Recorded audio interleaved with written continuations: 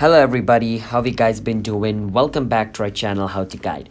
And in today's video, I'm going to be showing you guys how you guys can add watermark to your photo on iPhone. So it's pretty simple, but before that, if you guys are new to our channel How to Guide, then don't forget to hit the like and subscribe to our YouTube channel with notification on. Let's move on.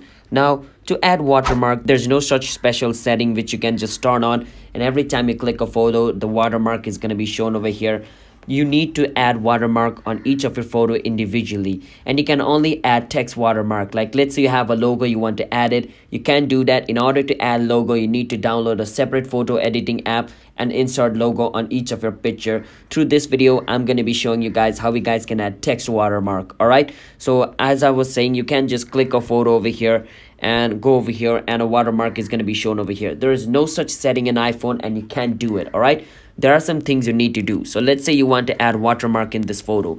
So my name is Richie Kevin. So let's say I want to add watermark in this photo saying Richie Kevin. So every single time if somebody tries to steal this photo, they can't because the watermark is going to be over there.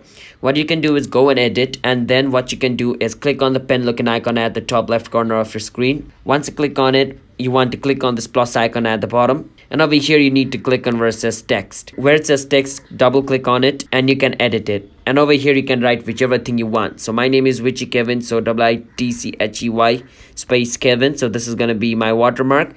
I can click on done over here and my watermark is gonna be over here. Now if I want to edit this watermark what I can do is go on the pen looking icon at the top right corner of my screen again click on where it says Richie Kevin, click on edit. And once I click on Richie Kevin, there's going to be a double A button at the bottom. You can click on it and you can change the font as well. And you can even change its color as well. You can keep it to whichever thing you want.